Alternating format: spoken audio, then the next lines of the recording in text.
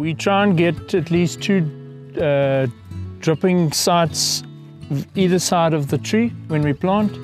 Each dripper is going to deliver 1.6 litres per hour. So in an hour's time, you're getting effectively 3.2 litres of water on your tree.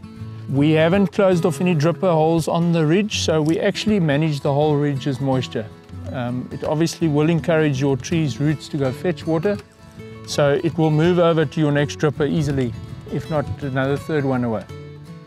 It's a pressure compensated drip, so as soon as your pressure drops when the pumps get switched off, it won't run out on the ends, on your lower ends.